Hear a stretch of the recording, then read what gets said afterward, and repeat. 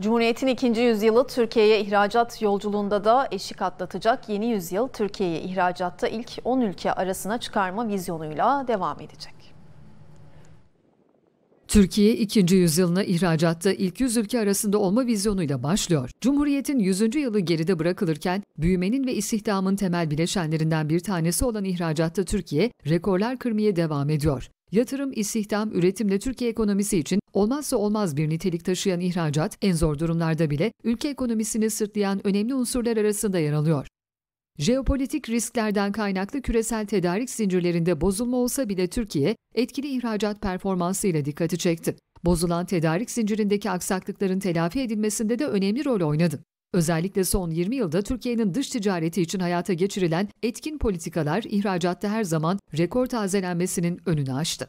Pandemi sonrasında özellikle yurt dışı iş heyetlerinin yeni pazar çalışmalarıyla ihracatta kayda değer bir toparlanma elde edildi. Sanayi grubu bünyesindeki sektörlerin ihracat rekorları ön plana çıktı. Türkiye'nin en çok dış satım yaptığı ülkeler arasında dünyanın önde gelen ekonomilerinin olması da önemli bir nokta. Bu ülkelere ait şirketlerin Türkiye'de faaliyet göstermesi ve ortaklaşa kurulan ticaret odaları ihracat ölçeğini geliştirdi. Bu sayede hem Türk ihracatçılar hem de ülkede yatırım yapmak isteyen uluslararası şirketler için önemli fırsatlar ortaya çıktı. Ana pazarlar yanında Türkiye, uzak ülkeler stratejisi kapsamında alternatif pazarlara yaptığı dış satımla da önemli başarılar elde etti. Rusya-Ukrayna savaşının başlamasıyla ertelenen siparişler ve tedarik zincirinin zarar görmesi, Türkiye'nin ihracatını bir nebze etkilese de uzak ülkeler stratejisi Türkiye'nin bu dönemde sekteye uğrayan dış satımını telafi etti.